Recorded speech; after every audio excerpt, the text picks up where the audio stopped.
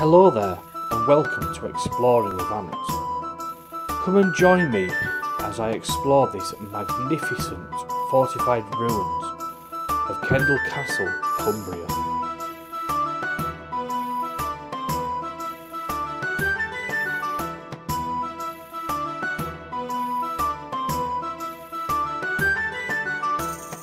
The castle was built in the early 1200s as the home of the Barons of Kendal. They had a big influence on the development of Kendal. The Parr family is the best known of the Baron families, the most famous member being Catherine Parr, the sixth and last queen of Henry VIII.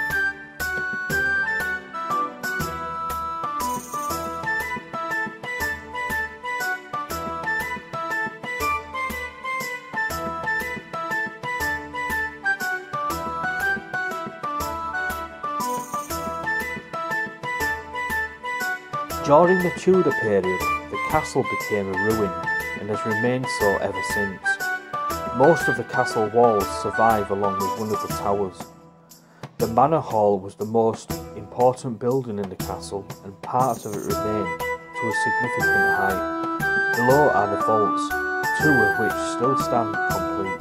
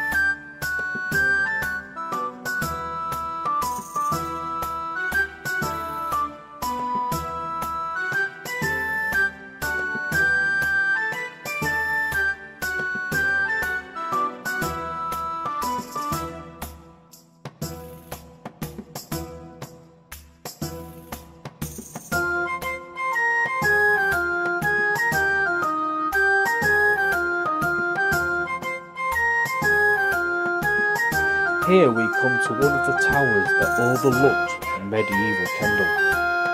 Originally it had three stories, but the uppermost level has been destroyed. The lower story is a rough stone vault, maybe used as a storeroom. The upper room would have been comfortable private accommodation, perhaps for a castle official.